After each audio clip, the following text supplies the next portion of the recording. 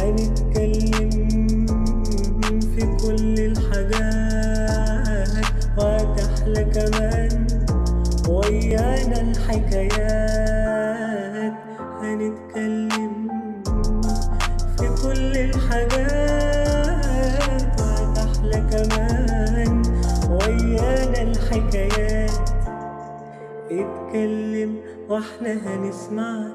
محدش يقدر يمنعك اتكلم وإحنا هنسمعك. السلام عليكم. برحب بحضراتكم في حلقة جديدة من برنامج كلامنا في المضمون. آه، في البداية عايز أقول كل سنة وكل مصر بخير وسلامة وصحة. بمناسبة انتصارات أكتوبر بمناسبة 47 سنة على مرور أعظم الحروب في التاريخ الحديث زي ما وصفها الخبراء العسكريين هي أكتوبر 73 وفي الحقيقة مروة أكتوبر 73 من أعظم الحروب اللي تمت لأن آه، كان في فرق شاسع بين القوات وإسرائيل كانت بتدعمها أمريكا بالأسلحة والمعدات والتكنولوجيا. استكمالا لكلامك يا محمد طبعا إن حرب 73 آه، السادس من أكتوبر العاشر من رمضان سنة 73 دي كانت تعتبر نصرة للمصريين كلهم. في كتير من المصريين لحد دلوقتي آه، وبالذات شبابنا الصغيرين ما يعرفوش يعني إيه حرب 73 ليه حرب 73 هم ليه كل شوية بيحتفلوا بحرف تل- بحرب 73 هنعرف كل ده بالظبط وبالتفصيل من ضيوفنا اللي منورينا النهارده في الاستوديو. حابة أرحب بيهم. آه، أهلا آه، بيك. من يسعدنا ويشرفنا شرفنا. يكون مت- متواجد معانا سيادة المستشار أحمد عزمي رئيس اللجنة العليا لمكافحة الإرهاب والفساد. أهلا وسهلا.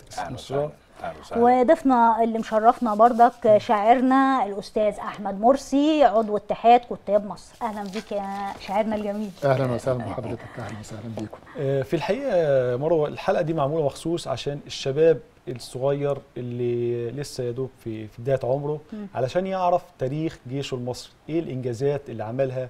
وإزاي آه، قدروا يضحوا بحياتهم ويضحوا بحاجات كتير جدا علشان يحافظوا على أمن واستقرار الوطن. لأن يا مرمى لو تلاحظي دول كتير عربية اتفتتت دول كتير انهارت في آه، المخططات اللي حصلت. دول زي سوريا زي العراق زي ليبيا. زي ف... فلسطين ف... آه طبعا دول كتير. ولكن آه، الحلقة دي معمولة مخصوص عشان نوعي الشباب نعرف تاريخ بلده يعرف إزاي ناس كتير ضحت بحياتها وضحت بعمرها عشان في يحافظوا شباب على بالفعل مش عارفين قيمة حرب 73 هي ليها قيمة كبيرة جدا. القيمة ال- بتاعه حرب 73 إن مصر ما بقاش فيها احتلال. لولا حرب 73 لحد الآن طبعا رئيسنا الجميل رحمه الله آه، أنور السادات آه، هو صاحب الخطوة الأولى في الحرب وهو اللي إدى الإشارة في بداية هذه الحرب. طبعا كل الشكر والتقدير لرئيسنا الراحل آه، محمد أنور السادات لأنه هو حرر مصر بطل الحرب والسلام في هذه اللحظة. بس يا محمد كمان عايزين نعرف أكتر في التفاصيل الشباب مش مدرك قيمة ال- التحرير اللي حصل آه، لسينا لحد دلوقتي. وبيعتقدوا إن أنتوا كل شوية مصدعين لنا دماغتنا كل كل سنة بنحتفل كل أكتوبر. إيه ده؟ ليه وعشان إيه مش مدرك. فعشان كده إحنا عاملين الحلقة دي مخصوص توعية علشان للشباب. توعية للشباب يعني- عشان ما حدش يتغرغر بيهم ويلعب بأفكارهم ويشكك في وطنية الجيش المصري العظيم علشان كده آه، حابين نعرف من ده سياده هو خير جنود الأرض آه حابين نعرف من سيادة المستشار أحمد عزمي آه ليه الخبراء وصفوا حرب أكتوبر 73 اللي هي أعظم الحروب في العصر الحديث.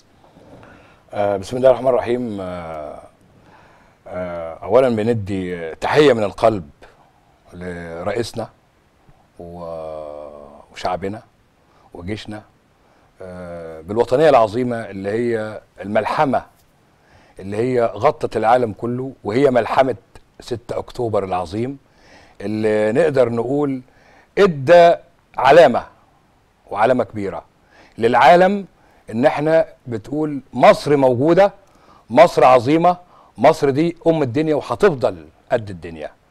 وهي ديت الملحمة الحلوة اللي هي اللي اتعملت في آه 6 أكتوبر. و6 أكتوبر دي النهارده هو بيعتبر من أعظم الملاحم الوطنية اللي شهدت في تاريخ مصر وتاريخ العالم. مش هنقول العالم العربي بنقول العالم كله. لأن كان العالم بينتظر اللحظات اللي هي بتاعت حرب 6 أكتوبر وحرب 6 أكتوبر اتعمل فيه بالنسبة لل- للقوة الإسرائيلية إن هي إدت انطباع ليها وحطت إن هي إن حرب 6 أكتوبر دي أصبح بمثابة يعني آه ليها أصبحت هي احتلالها الرئيسي ل آه سينا وكل ما هي احتلته في الوقت اللي هو كان من 67 حتى سنة 73 هنا جه الوضع اللي هو نقدر نقول العقلية البشرية بالتكنولوجيا العظيمة اللي هي قدرت تسيطر على كل ما هي عملته إسرائيل من خط بارليف اللي هو كانوا دايما يقول لك خط بارليف الحصين.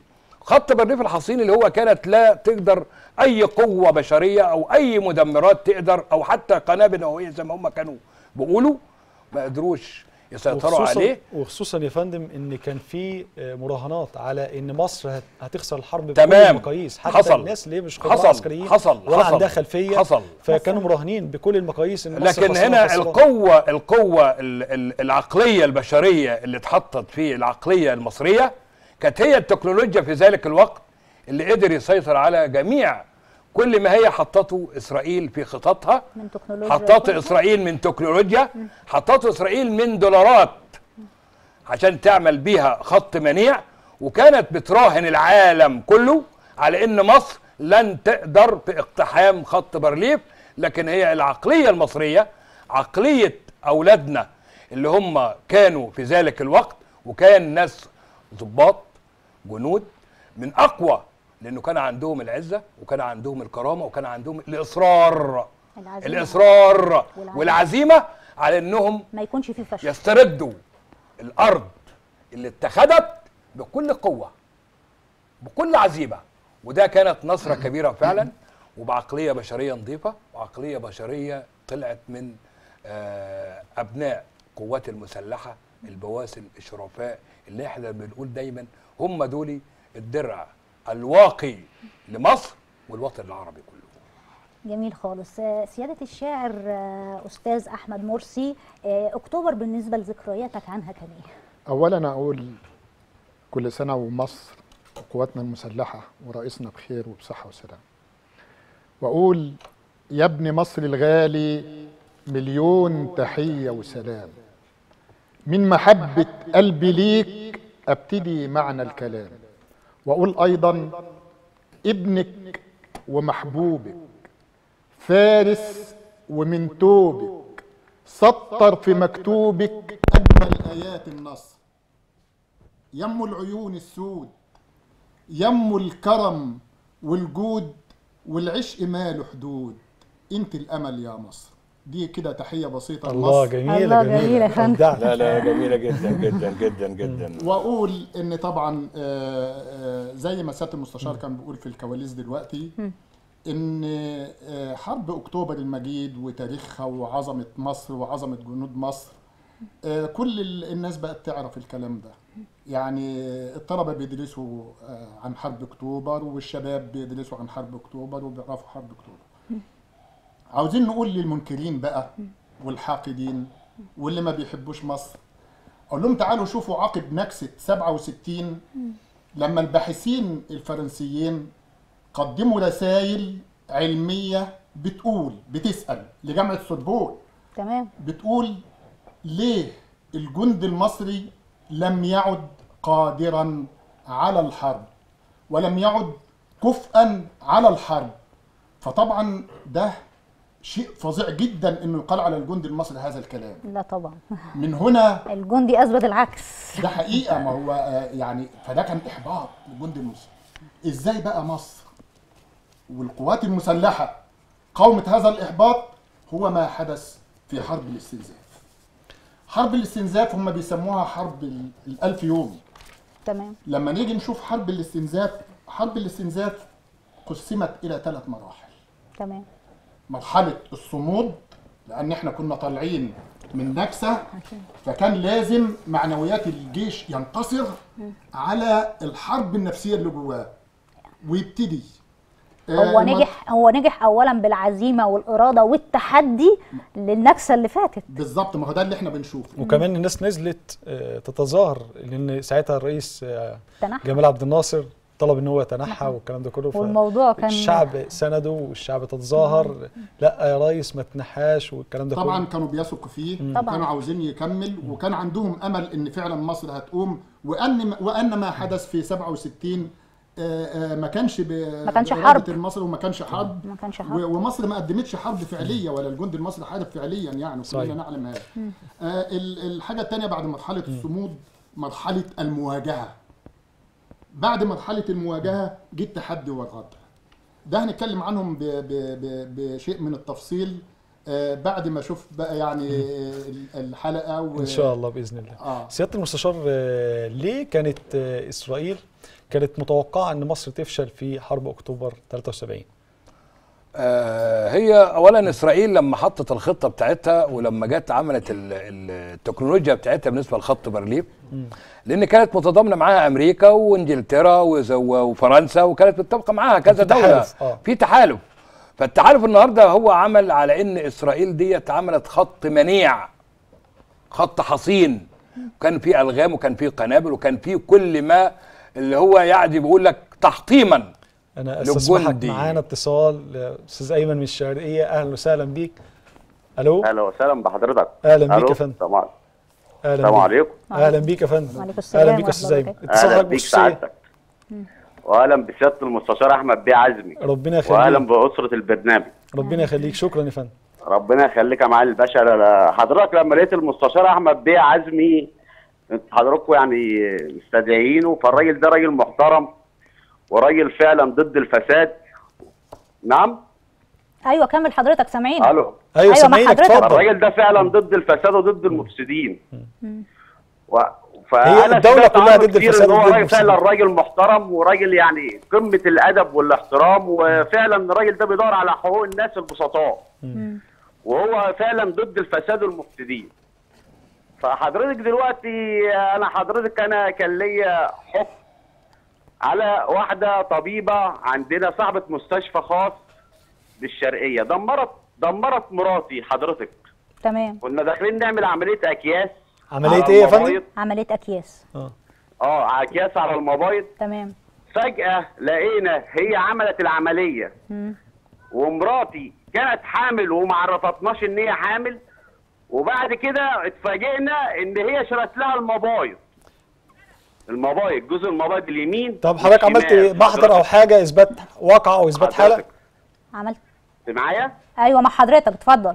آه شالت جزء المبايض حضرتك ودخلتنا في متاهات. طب حضرتك عملت محضر؟ بالكلام ده؟ عملت محضر حضرتك والمحضر آه، في اسم تاني مركز الزقازيق. وحولنا بعد كده طب شرعي واستدعوها والطب الشرعي طلع لمراتي عاهه مستديمة حرمانها من الإنجاب بنسبة عاهه مستديمة 100% تمام. والقضاء بتاعنا حضرتك النزيه طبعا ادانا حكم آه، سنة نهائي عليها. ولم يتم محاسبتها حتى الآن. ورقم ال- القضية خلي بالك يا جنح اسم جنح مستأنف سادس الزقازيق ورقم القضية 47 ممكن أعرف طب 99 من حضرتك إيه المطلوب دلوقتي؟ المطلوب دلوقتي. حضرتك إن لم يتم محاسبتها حتى وقتنا هذا. طب رقم القضية بعد إذنك؟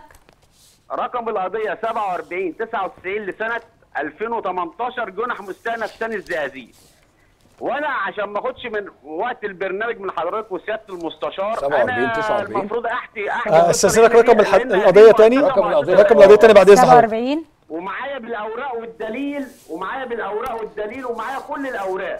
خلي بال حضرتك. أستأذنك تقول الرقم تاني بتاع القضية؟ 47 47 99 لسنة 2018 ل 2018 دون آه جنح مستأنف ثاني الزقازيق. قسم ثاني الزقازيق. طب تمام. كان حكم المحكمة إيه يا فندم في الموضوع ده؟ فأنا بنا فأنا بناشد أنا بناشد سيادة ال- الوزير وبشهد بعد- بعدالته لأن الم... لأن الست ديت صاحبة علاقات ذو علاقات عامة هي وجوزها وعلاقات خاصة. ماشي بس مفيش حد فوق القانون. مفيش حد فوق القانون يا فندم. نعم. مفيش؟ حد فوق القانون. توجيهات سيادة الرئيس مفيش حد فوق القانون. أحد فوق القانون. المخطئ بيتحاسب. تمام. إحنا بنشكرك جدا يا أستاذ أيمن وشكوتك وصلت. شكرا ليك يا أستاذ أيمن. شكرا. شكرا ليك. تعليقا على هذا ال- الحدث دلوقتي اللي إحنا سمعناه من الأخ محمد اللي هو من الشرقية إن هو بيتكلم على شيء يعني يمكن آه، كل مسؤول في الدولة. آه، أستاذنك معانا فاصل. هنطلع فاصل سريع ونرجع نكمل بيت اتفضل. يا باشا اتفضل. تابعونا بعد الفاصل. فاصل سريع ونرجع لحضرتك.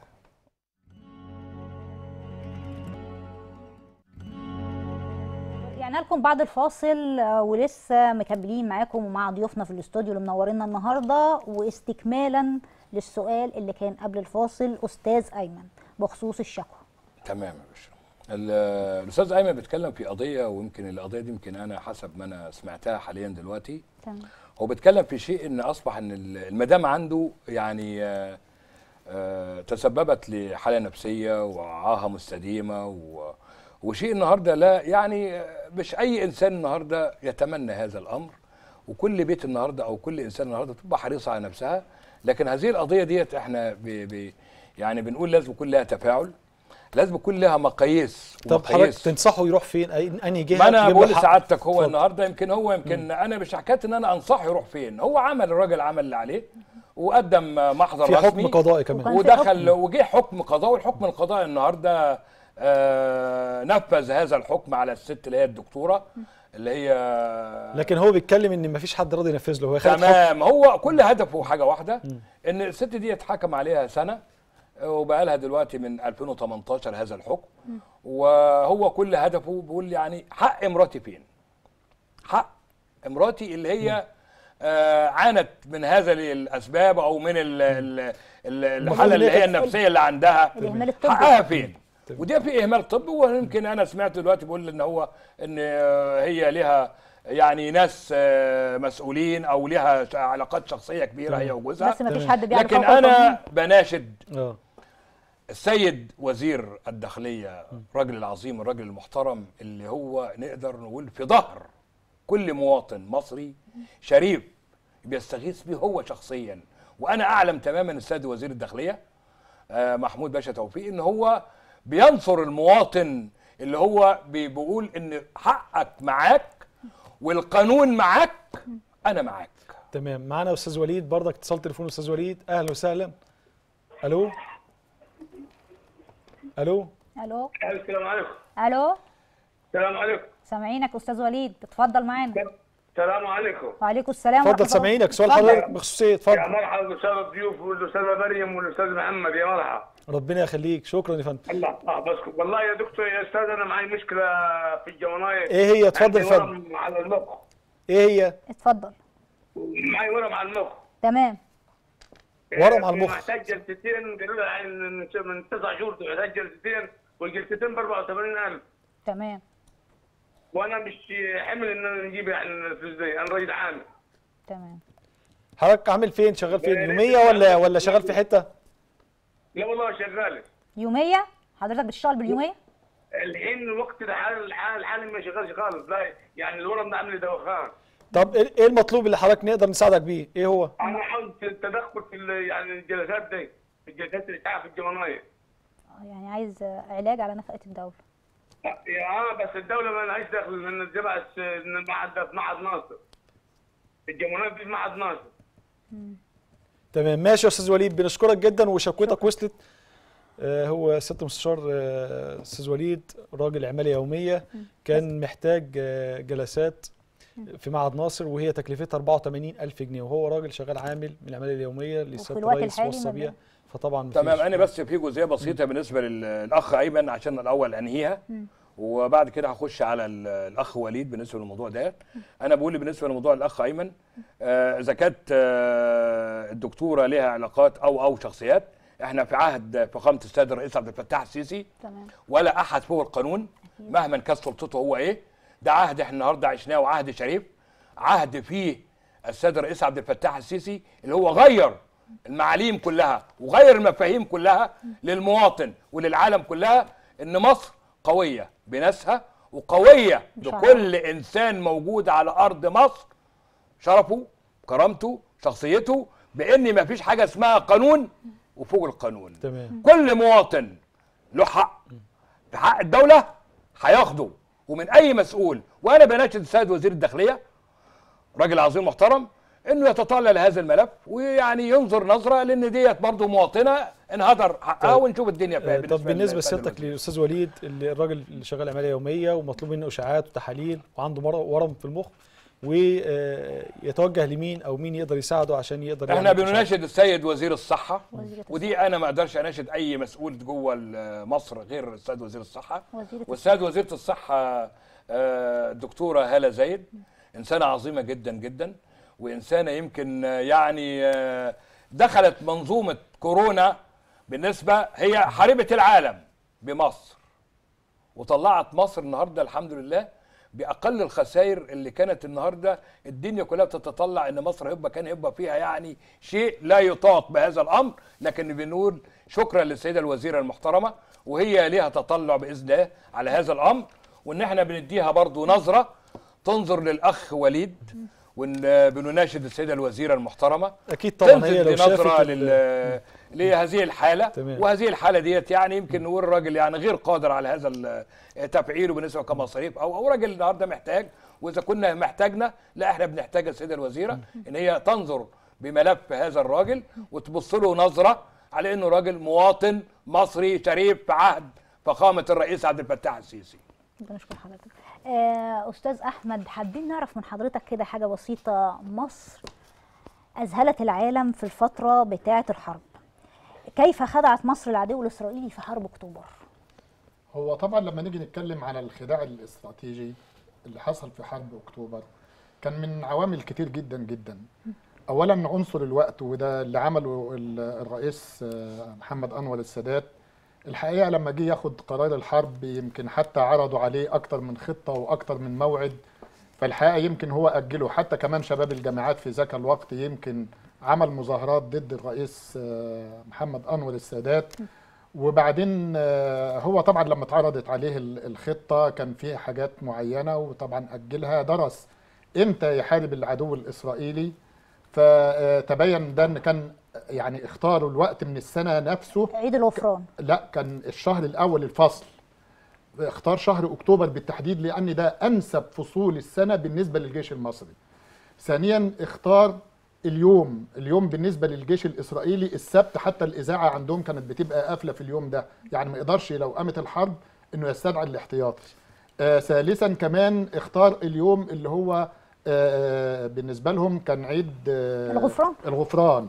آه فطبعا كلهم بيبقوا ما- ما- ملهيين في الأعداد. حضرتك الو- معانا مداخله تليفونية بعد إذن حضرتك. اتفضل. آه ألو مين يا فندم معانا؟ أستاذ ألو. وليد. ألو؟ ألو؟ ألو السلام عليكم. وعليكم السلام. اتفضل يا أستاذ وليد. أستاذ وليد. السلام عليكم. سامعينك كويس اتفضل. اتفضل سامع حضرتك. إحنا سامعينك اتفضل يا فندم. اتصال حضرتك بخصوصيه أستاذ وليد. مع حضرتك آه، وليد هلال عز الرجال مرشح عن دائرة الزاوية الشرقيه أهلا وسهلا بيك يا أستاذ وليد اتفضل. أهلا وسهلا بحضرتك. أنا بشكر أسرة البرنامج الجميل وبشكر الأستاذ محمد عن اتفضل يا فندم إحنا. سامعينك. حضرتك آه، شكوتك بخصوص إيه؟ بخصوص الموضوع بتاع اكتوبر ده مهم جدا. حضرتك بتشارك؟ والله. حضرتك بتشارك النهارده معانا؟ يا فندم. أيوه يا فندم. اتفضل كمل. إن شاء الله في الترشيح البرلماني ال- القادم مهم جدا إن إحنا نطالب آه، إن إحنا ننمي الموهبة عند الطلاب. تمام. فعلا الطلاب انقصهم المادة اللي هي العلمية عن التاريخ. التوعية. التوعية. تمام. بالظبط كده. عشان ما حدش يلعب بعقولهم صح مهم جدا ان إحنا برضك لأنها بصوتنا. حرب التكنولوجيا الحديث. هي حرب العقول آه، الشباب اللي طالع عن طريق التكنولوجيا الحديثة بنشكرك جدا يا أستاذ وليد. شكرا. لحضرتك يا أستاذ وليد وعلى اتصالك. ولسه مكملين مع شاعرنا. حابين بقى نعرف آه، مقتطفة كده بمناسبة أكتوبر. هو بس أنا عاوز أعلق على ال- الأخ ده هو يمكن دخل في حروب الجيل الرابع اللي كان بيتكلم عليها الأستاذ محمد العبد دلوقتي. آه، فطبعا هم دلوقتي إسرائيل ما عادش هتقوم آه، حرب بينها وبين مصر ولا الدول العربية. هم بيتولوا دلوقتي حشو الأدمغة وعقول الناس وهو ده الأساس عندهم. هم يقول لك هم يحاربوا بعض بنفسهم. إحنا ما بنتدخلش. وما عادش في حاجة اسمها الحرب العسكرية ديت اللي بتاع زمان التقليدية الحرب دي. المباشرة. الحرب المباشرة دي لا، لا، لا إسرائيل ما عادش هتدخل معانا في حرب مباشرة خالص. هي عاملة معانا يعني حرب تكنولوجيا. صلح وحتى في بعض الدول داخلة معاها في معاهدات اللي هي صلح عملية التطبع اللي هي آه، آه، اتعملت. فعلا ودي كانت من أحسن حاجة اتعملت على أساس إن يعني يبقى في تداول بالنسبة للمنطقة العربية يعني بالظبط. يبقى ف- في سلام وليس في حرب أو فهي دل... في عدوانية يعني فهي دلوقتي آه، آه، كل اللي هي بتعمله إيه بتعمل آه، على إن هو تفتيت ال- العرب عن طريق إحنا نفسنا بذاتنا اللي إحنا نفتت بعض من خلال نفسنا. يعني مثلا لما نيجي نشوف آه، تدخل تركيا في جميع الدول العربية طب إحنا سايبينها إزاي؟ وعمالة تخش وتنشر سموم جوه أفكار ال- ال- البشرية والعقلية المصرية. وبعدين إحنا كمان ما ما- لا, لا لسنا ببعيد عن اللي هم بيعملوه القنوات المعارضة من هم ده الهدف بتاعهم. إنه عاوز يخش على وهي القنوات المعارضة نعم. بتلعب على القرارات اللي هي بتضايق الناس. يعني في بعض الناس متضايقة من قرارات سيادة المستشار يمكن يجاوبني على السؤال ده اللي هو موضوع ال- الإزالات والمخالفات والتعديات على الأراضي. تمام. فحضرتك شايف الموضوع إزاي؟ هو شايف النهارده هو كان في استغلال آه، خدوا إعلامي. آه، استغلال إعلامي. خدوا الجامعات. إحنا مش هنقول إن هو دول إعلاميين اولا. كل القنوات اللي هي بنعتبر قنوات فاشية ليس لها أي معنى داخل المجتمع. المصري. ودول أساسا هم فاشيين أساسا لأن هم استغلوا هذا الموضوع إن هو موضوع التصالح هو موضوع ال- ال- المخالفات بتاعة البناء. ده بالعكس. ده دي بتعتبر القوة الحقيقية لكل مواطن النهارده. بقول النهارده طب ما أنت النهارده كنت هتروح ترخص البيت أو بيتك أو عمارتك أو أو. النهارده هو بيديك الترخيص بتاعك سيادة الرئيس بمنظومة محترم. محترمة. نظيفة بتقول لك انت قاعد في بيتك معاذ مكرم وحاجتك كلها بتنتهي بعيد عن الرشاوي بعيد عن الفساد بعيد عن كل إنسان بيجي لك ويقول لك آه هنا لا ده أنا هعمل لك رخصة بكذا واعمل لك رخصة. لا لا لا. هو النهارده منع. كل ما هو الموضوع اللي اتعمل ده تصالح بالنسبة للمخالفات منع حاجة اسمها فساد للمحليات. منع كل مسؤول جوه المحليات إن هو مش هيبص للمواطن. مش هيبص له بأي فساد مش هيبص له بأي رشاوى لا ده هو منعها منعها تماما. وأنا نفسي وأتمنى كل مواطن يفهم هذه المضمونة إن السيد الرئيس حافظ على كل مواطن داخل مصر. مش موضوع التصالح ده موضوع التصالح ده بيعتبر هو الشيء الحلو اللي اتعمل لكل مواطن.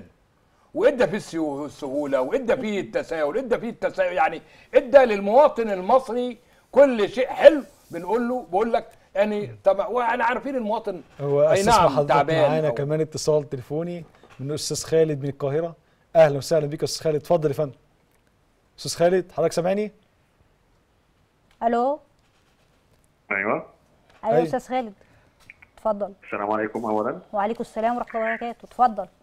طبعا برحب بالساده الإعلاميين الأستاذة مروة والأستاذ محمد ميرسي فيك حضرتك. شكرا لحضرتك. وطبعا الاستاذ مستشار أحمد عزمي أهلا وسهلا أهلا وسهلا. أنا سعيد بمشاركتي معاكم النهارده. أهلا وسهلا عايز أتكلم عن حرب اكتوبر المجيده آه، تمثل العزيمة والاصرار والشجاعه للجندي المصري وأيضا الذكاء الحاد للقيادة السياسية متمثلة في الشهيد الرئيس محمد انور السادات طبعا حاجة عجيبة جدا.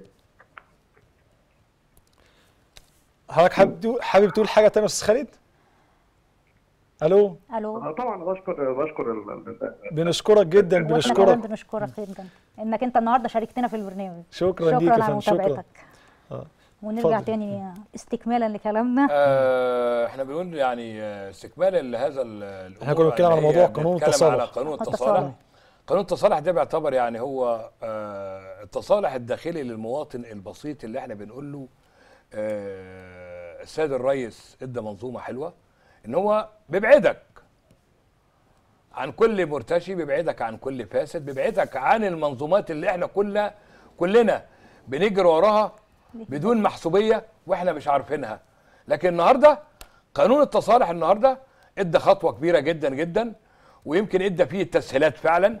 وسيد الرئيس النهارده بيتطلع لكل مواطن آه، بسيط في مصر وهو يعني عارف وحاسس بكل المواطن البسيط وهو النهارده هنلاقي مصر آه، جميلة جدا بالمواطن البسيط الحلو وهيلاقي مصر عظيمة جدا جدا وهيلاقي مصر ديت أكبر من أي دولة طبعا. بالمواطن اللي هو بنقول عليه اللي هو يعني آه، اللي هو بيحب مصر. المواطن الشريف ما هي. الدولة سايباك تبني. آه تمام. ما فاحنا هو النهارده آه، يعني زي ما أستاذة مروة بتقول لحضرتك آه، الناس بتسأل أنا بس يعني بحط نفسي مكان الناس العاديين. طب ليه الدولة سابته يبني من الأول خالص؟ ليه تمام. ما شافته بيحط طوبة مخالفة ما حكمتهوش أو حاسبته؟ دي اللي إحنا هنا. دي اللي إحنا بنتكلم فيه أساسا ودي اللي الريس فعلا اللي هو بيلغي هذه المنظومة دي فعلا إن هو النهارده كانت جميع الإدارات المحلية اللي هي كانت بتدي فرصة لكل مواطن أنا ما بلومش المواطن. لا. أنا بلوم اللي إدى فرصة للمواطن مسؤول في المحليات اللي سابوا ان إن الراجل النهارده اللي هو جوه المحليات أو اللي هو جوه سواء رئاسة مركز أو حي أو مدينة أو وحدة محلية إدى فرصة للمواطن إن هو يبني ويحط طوبة في الأرض ويطلع ويا ريت إن هو بيبني دورة واثنين ده سابه يبني 14 و15 دور. طب على مدار هذه السنين دي كلها أنت فين يا مسؤول؟ وجينا النهارده بنقول للمواطن طيب انت النهارده هو سابك تبني وده هو أساسا يعني هنقول طبقة من الطبقات اللي السيد الرئيس النهارده بيحاسبهم كفاسدين كناس النهارده ادت منظومة النهارده للفساد وتوغلت بهذا الأمر إن هي بتقول للمواطن ابني وعلي. طب ما على المواطن المواطن علق فيها إيه النهارده بقى لما نيجي نقول للمواطن النهارده؟ أنت عليك النهارده في النهارده عندك تصالح ودي حق الدولة إذا كنت أنت النهارده دفعت رشاوى ودفعت النهارده للمفسدين لكن الدولة بتقول لك لا ده في دولة في حق للدولة. فين هو؟ فين الحق اللي هو المفروض أنت تدفعه للدولة النهارده؟ وبتدفعه إيه؟ ده تدفعه بالتقنين تدفعه بالشيء الحلو اللي أنت فيما بعد. هتلاقي نفسك أنت وأسرتك وأولادك قاعدين معززين مكرمين جوه بيتك. برخصتك بكل حاجتك. حابين نعرف من حضرتك آه، أستاذ أحمد إحنا مش هن... مش هنروح بعيد برضك عن موضوعنا اللي هو حرب أكتوبر. عايزين نسمع كده قصيدة حضرتك كنت كتبتها لأكتوبر. هبة السماء. أنا من تراب وطين وماء. أنا عطر أرض روتها الدماء. يعود انتمائي لأصل كريم. وما في كلامي أدنى ادعاء. سلوا الدهر عن مصر ينبيك عني. ألست أنا قبلة الأنبياء؟ ألست أنا البدء عند الوجود؟ وأم البلاد؟ وفيض السماء؟ أنا مصر واسمي قرين العلا. إذا ذل غيري أبيت انحناء أنا سنبلات بها أمنيات. أنا النور والعلم والكبرياء. فكم من غريب يذوب اشتياقا. وكم من مقيم بغير انتماء. ومصر الحضارة في أرضها تنير العقول وتعلي البناء. كتاب كريم من الله يتلى. أيا مصر أرضك فجر الضياء. ألا فادخلوها سلاما أمانا. فمصر من الخوف دوما براء رسول الهداية أوصى بها. فأجنادها خير جند اللقاء. فلا يأمنون لباغ لئيم. وإن قال إني من الأولياء. فمن قبل مينا وقفنا رجالا نصد الغزاة ونحمي البناء. عشقت ترابك يا مصر دوما وأفديه بالروح يوم الوفاء. فإن غبت عني أهيم بدردي أناجيك صبحا وعند المساء ولست أداري عن سر عشقي. فأنت الأماني وكل الرجاء. وإن خيروني بأرضي نعيما فبعدك والنار عندي سواء. أنا في هواك أكابد شوقا. فحبك في القلب طب وداء. ويبقى ترابك يا مصر دوما. عصي أبي على الأشقياء يدور الزمان على الظالمين وتبقين جمرا على هؤلاء حصاد مرير من الذكريات قضاء من الله أنا يشاء وكم من بلاء أتاك وولى بلطف من الله بعد العناء. قفي يا بلادي. بوجه التحدي بعزم الأسود مع الأوفياء جميل. ده بمناسبة اكتوبر جميلة، بصراحة حاجة جميلة جداً،. سيادة المستشار اسمح لي. آه، عايزين نحصن الشباب بتاعنا اللي طالع جديد. ما يعرفش تاريخ جيشه تاريخ قوات مسلحة إيه التضحيات اللي عملت إزاي الدولة. كمان الجميل إن بعد الحرب قدرنا نحافظ على كيان الدولة المصرية. خصوصا بعد تفتيت وضياع دول كتير جدا زي سوريا زي العراق زي اليمن. فازاي آه، نحصن الشباب ده عشان ما يتلعبش بيهم ويضحك عليهم من من القنوات الممولة والموجهة؟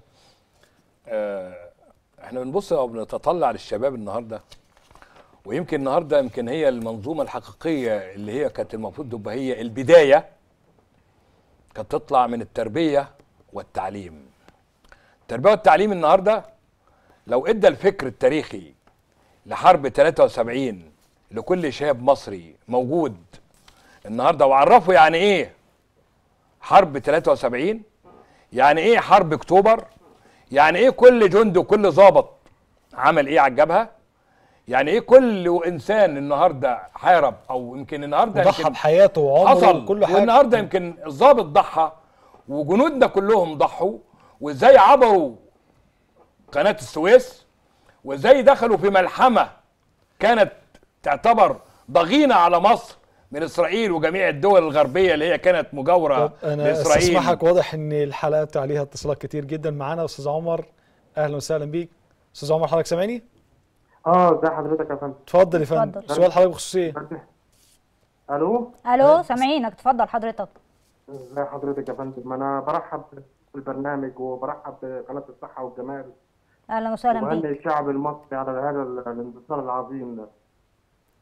أهلا وسهلا بيك. سؤال حضرتك بخصوص إيه اتفضل يا فندم. اتفضل. حضرتك يا فندم أنا معايا شكوى بس عايز أعرضها على سياده المستشار. اتفضل. إيه هي شكوى حضرتك؟ أنا حضرتك أنا من أبناء المحاربين القدماء بالقوات المسلحة ومقدم في المشروع بتاع قريه الأمل وناس كتير استلمت وأنا ما استلمتش. وسياده الرئيس عبد الفتاح كان اوصي على أبناء المحاربين القدماء دول ومصاب العمليات الحربية في يوم المحارب القديم. والدولة حضرتك بتجانب عرض الحائط. أنا دخلت على 39 سنة لا توظفت ولا خدت أرض في مشروع قرية الأمل ولا ولا في قرية الاتحاد وفي في قطعة موجودة وأنا بعت الشكوى دي للبرنامج وبعت ال- الأرقام القطع في مشروع قرية الأمل. فأنا بستغيث بالكابتن الم- المستشار إن هو يبث في موضوعي. ماشي. شكرا. ليك يا أستاذ عمر. شكوتك وصلت. شكرا ليك. و سياده المستشار هو دلوقتي بيقول إن هو من أبناء المحاربين القدماء وكان مقدم في مشروع قرية الأمل وللأسف ما جاتلوش ال- يعني قدم كذا وأنا مره يمكن هو هن برضه يمكن يعني لازم يكون في اللي هي القيادة العسكرية اللي هي تقدر تتولى هذه الأمور دي فعلا لأن ده راجل من من القدماء اللي هو من نقدر نقول.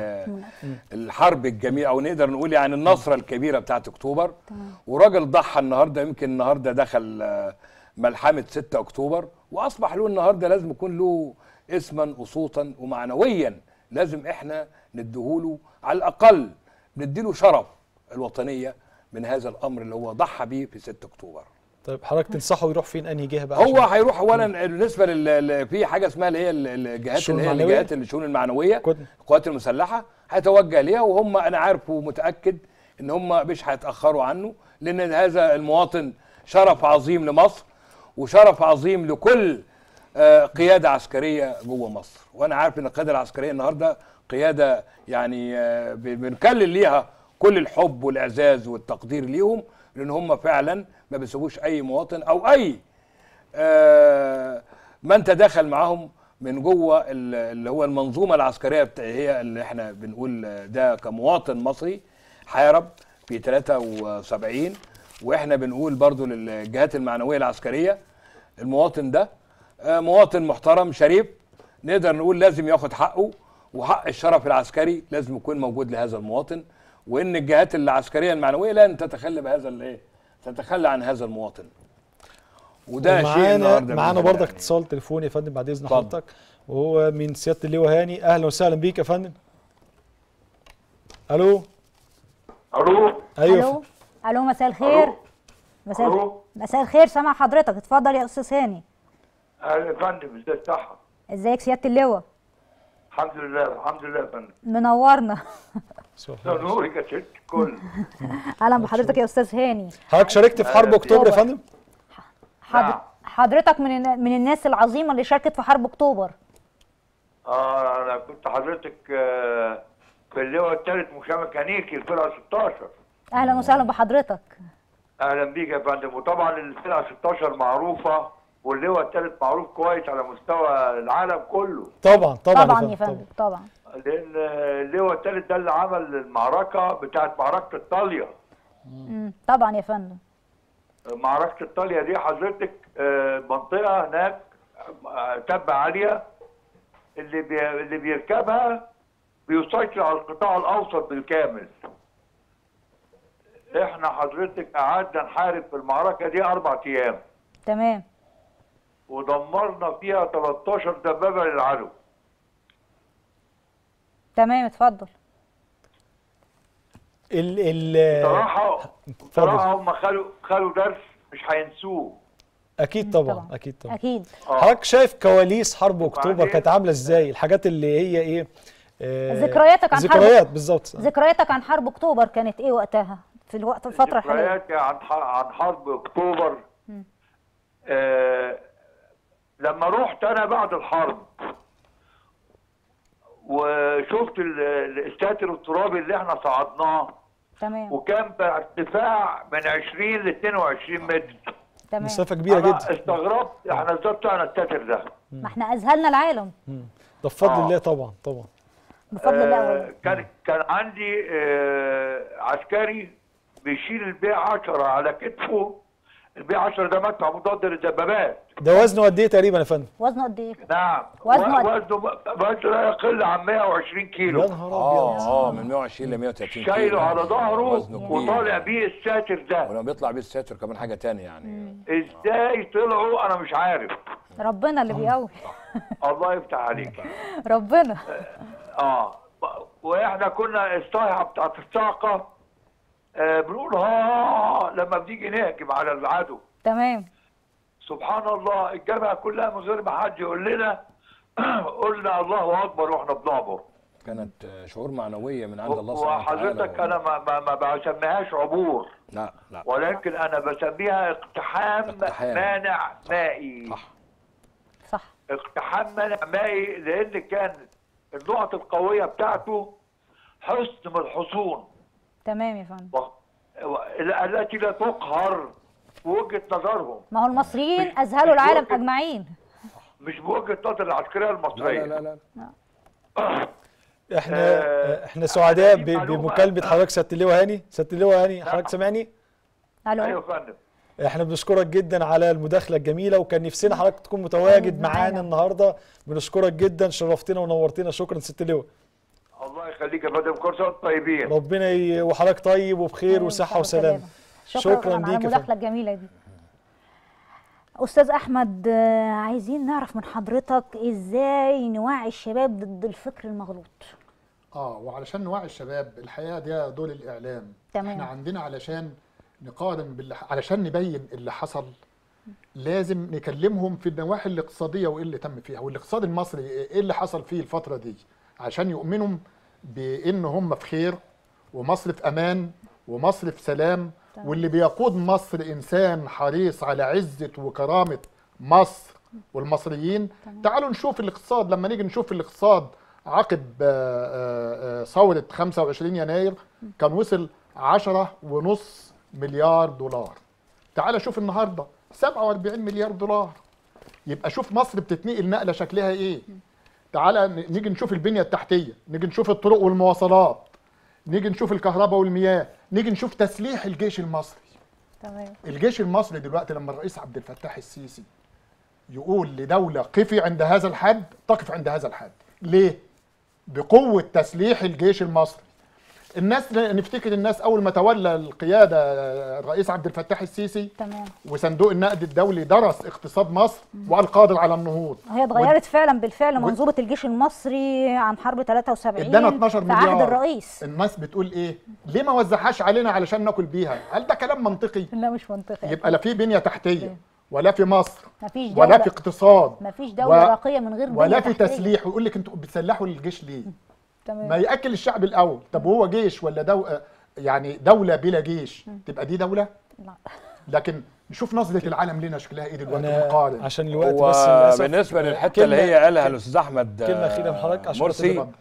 إن هي بتاعه التسليح ديت اللي أنا المواطن المصري في من المواطنين الشرفاء عارفين يعني إيه تسليح جيش والوقت اللي كان محتاجه فخامة الرئيس عبد الفتاح السيسي فعلا لأن هو كان قاري كل منظومة اتعملت من بعد الثورة مباشرة أرى الخطة الرئيسية لمصر كلها بدليل إن هو إدى تسليح الجيش فورا. أولوية- أولوية. وكانت هي الأولوية لأنه كان قاريها وعارفها لأن المواطن ما كانش يعرف إيه يعني إيه تسليح جيش. لكن النهارده المواطن حس يعني إيه جيش؟ يعني إيه تسليح جيش؟ حس بيها دلوقتي. طبعا طبعاً. اللي ما بيشوفش من الغربال تمام. يبقى أعمى. وإحنا النهارده لأن آه، فخامة آه. الرئيس النهارده هو راجل وطني. أكيد. وراجل النهارده عنده يعني يعني ربنا سبحانه وتعالى اداهونا هبه من عند الله سبحانه وتعالى. طيب تمام وقضى على الارهاب وقضى على التطرف وقضى على كل ما هو كان يتضرر بكيان مصر ويتضرر بجميع كل ركن من أركان مصر. قضى على كل الفساد والإرهاب والتطرف. قضى على كل حاجة كانت تمس المواطن. والنهارده هو أب وأخ وإنسان لكل مواطن مصري شريف على أرض مصر. ويكفي ان هو محافظ على علينا ومحافظ على مصر. جدا بنشكرك جدا طبعا سياده سياده اللواء أحمد عزمي رئيس جهاز مكافحة الإرهاب والفساد بنشكرك جدا. وبنشكر كمان ضيفنا أستاذ أحمد مرسي عضو اتحاد كتاب مصر. بس قبل ما نختم حلقتنا آه يعني والتتر كده نازل عايزين نسمع عن حضرتك حاجة حصري للبرنامج. وطبعا أنا حابة أشكر كل فريق العمل أستاذة سندس أستاذة نورهان نورهان. والي آه، أستاذة دينا اللي طبعا آه، وكل مجهود كبير جدا في نجاح الحلقة. واللي كمان مش عايزين بنشكر حضراتكم طبعا. واللي موجودين كلهم جوه في الكنترول عشان بس ما ننساش حد بيزعل مننا واللي موجودين ورا الكاميرا كمان. حابين نشكر كلكم وبنشكر نسمع بقى المشاهدين. القصيدة. هل ممكن عندكم حاجة حصل لل- للبرنامج قصيدة وصف مصر؟ هل ممكن نسمعها في ختام البرنامج ولا؟ نسمعها هي من قصيدة جاهزة ولا نسمعها من أستاذ أحمد وأنا من أستاذ أحمد. اتفضل يا فندم. نسمعها من حضرتك اتفضل. أحسن. طب اتفضل يا أستاذ أحمد الأول لأن أنا كنت عايز يعني هو للأسف ما فيش وقت مع الأسف. تحيتي برضو للبرنامج كله ولهذه القناة الجميلة. الصحه شكراً- والجمال. ولجميع المعدين والمخرجين والمصورين ولكل ما هو تم إعداده لهذه الحلقة الحلقة الجميلة ديت وأنا واثق إن الحلقة ديت إدت انطباع للمجتمع المصري كافة بإذن الله وهتكون حلقة ناجحة على انه كل مواطن. كان. منتظر هذه الحلقة دي مصر. مصر التي كم حار فيها غاصب دوما ستصمد للمكائد والمحن مصر المساجد والكنائس والهدى داوي جراحك رغم أشواك الزمن ظن الكلاب بأنهم أسد الفلا وتكالبوا كالدود في جسم الوطن. يا مصر ذكرك في الكتاب مهابة وسعادة. من ذا يداني